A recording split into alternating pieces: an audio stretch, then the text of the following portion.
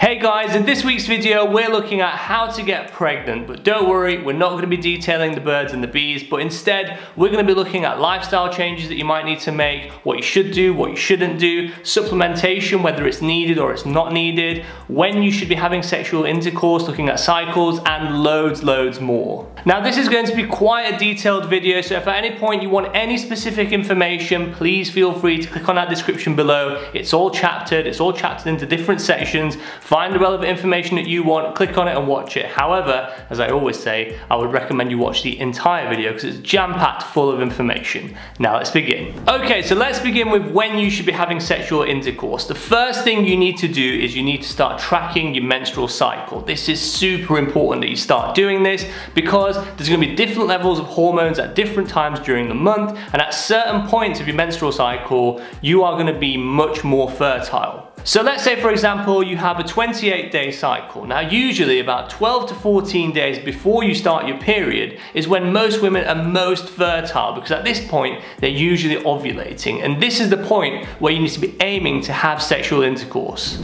Now you can track when you're ovulating by marking on a calendar when you last had your period and when your next one may be due and use it to try and estimate that window of 12 to 14 days before. Though please bear in mind that female cycles cycles can range from 21 to 40 days, so this window would need to be adjusted accordingly to vary from person to person. To make this easier, there are some really useful apps out there and websites that can help calculate this for you too. Now you may also notice a few bodily changes which are important for you to be aware of, which can be a sign of ovulation. For example, prior to ovulating, you will notice that your cervical mucus will get thinner. This is a sign that you're going to be ovulating soon, so it's a good thing for you to be aware of. And usually after ovulation, your bodily temperature will increase very slightly. You can also use a thermometer to check your temperature every morning, and in most women, you may be able to see a very small rise of about 0.2 degrees Celsius once ovulation has taken place.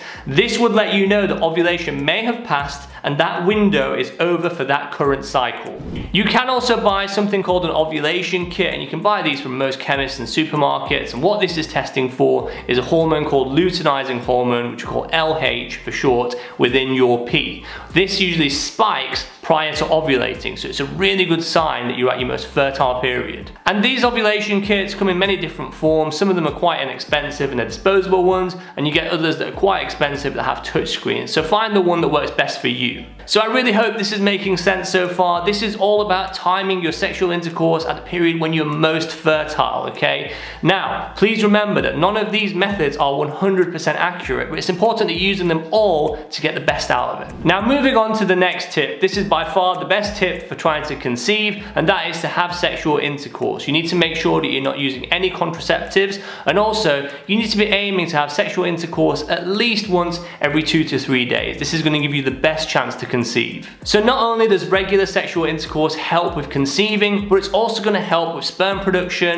and motility, so it's gonna help keep it up. Long periods of abstinence in men, so not having sex regularly, is gonna reduce this. Now, other than having sexual intercourse every few days. There's not much else in this department that you can do that's really gonna help. There's lots of myths out there, but different positions, resting after, or multiple orgasms haven't been shown to increase your chances. So don't feel pressured to try these just for the sake of conceiving. And lastly, before we move on to the next point, if you are using a lubricant, be aware that certain ingredients in lubricants can affect the motility of sperm. There's gonna be a little box that pops out here. You want to avoid these ingredients, have a look on the packaging, make sure it's not in there. The best thing you can do is look for it to say sperm friendly, for example, on the packaging, or TTC, which means trying to conceive. These are the kind of wordings you need to make sure on the packaging.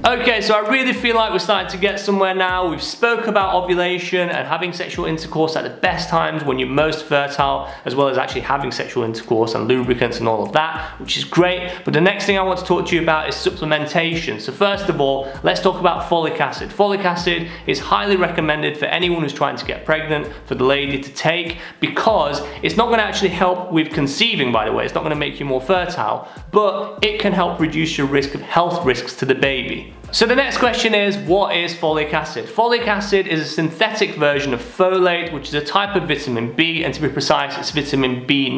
Now this vitamin is needed by our bodies to, one, create DNA, two, to break down and make proteins, and three, to make healthy red blood cells. Now when you're pregnant or trying to get pregnant, folic acid becomes even more important. It's critical for the baby's development, in particular for their brain, skull, and spinal cord, and it's needed to prevent something called neural tube defects. And even though we get folic acid from various types of food, including spinach, kale, yeast, oranges, beans and whole grains, it's recommended that pregnant women and those trying for a baby take 400 micrograms of folic acid once daily. This should be taken every day whilst you're trying to conceive, during and up to 12 weeks of pregnancy. Now it's important to remember that certain individuals will need to take a higher dose of folic acid, which is 5 milligrams once a day. This is prescription only by the way, so your healthcare professional will make you aware of this if it's needed. For example, certain individuals might include diabetics, patients on epilepsy medication, or if you have a family history of neural tube defects. I will leave more information about these as well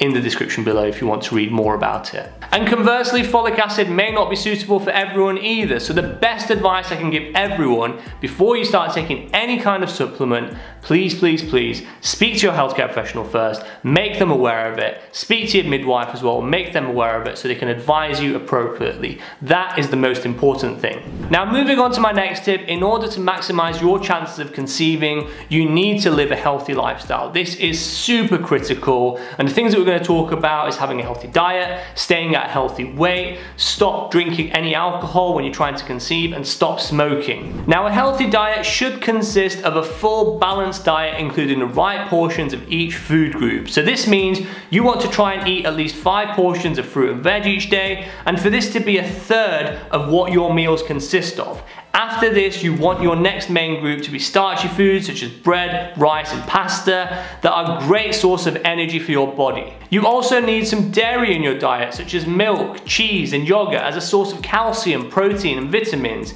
And your last food group is fat. We need it in our diet as it contains fatty acids and also helps our body absorb certain fat-soluble vitamins, but you should only have it in very, very small amounts. It's also important for both parents to try and eat healthy while trying for a baby so that the father also has higher quality semen which will increase the chances of conception and so that the mother has all the right nutrients for the baby's development when it's conceived. I do also have a video all about healthy balanced diets in much more detail. I will leave a link up at the top and in the description below. Now on top of a healthy diet, both parents need to stay at a healthy weight. This is especially important for the mother as well because if you are underweight, it can reduce the amount of estrogen that we produce, which is super important for our cycles and our menstrual cycle. A lack of estrogen can sometimes stop our periods and also stop ovulation. And because of this, it's crucial to try and stay to a BMI between 19 to 25. Now don't worry if you're not, speak to your healthcare professional who will be able to guide and advise you to a healthier weight.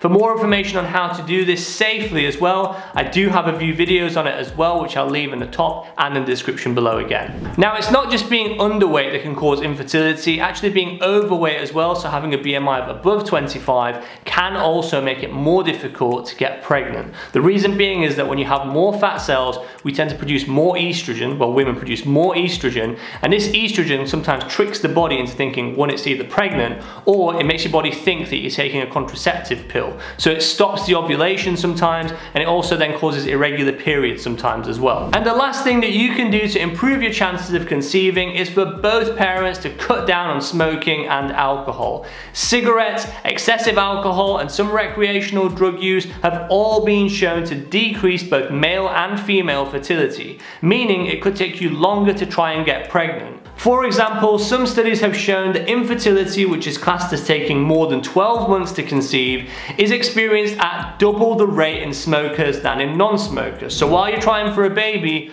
try and cut down on smoking if you can and reduce your alcohol intake to just one or two units a week a max. Stopping both entirely if you're able to do so is the best thing for increasing your chances. I do have a few videos on this topic already on how to quit smoking and how to reduce your alcohol intake. I will leave links to them on the top and in the description below. Now by following all of these tips that we've gone through, it's been shown that most couples, about 84% of them conceive within a year. However, everyone is different. Some people it might take longer, some people it might take less time. And it's normal for it to take a long time for some couples as there are several factors that contribute, including age, general health, lifestyle factors, how often you have sexual intercourse, and any underlying health conditions of both parents. In fact, it's believed that as many as one in seven couples are affected by fertility issues here in the UK. And if you feel that this may apply to you and you've been struggling to conceive for more than a year, please do speak to your healthcare professional who'll be able to help you identify any problems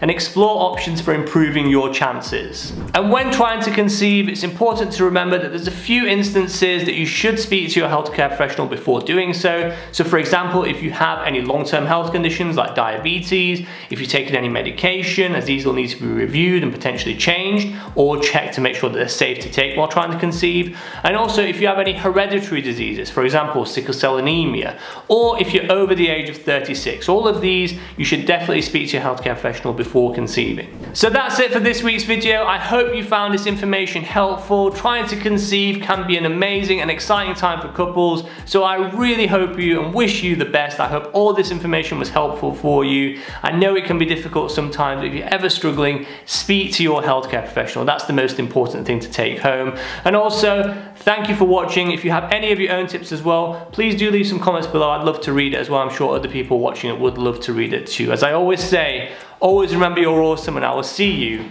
next week. Hey guys, thanks for watching this week's video. Make sure to click that like, follow or subscribe button now to stay up to date with new weekly videos.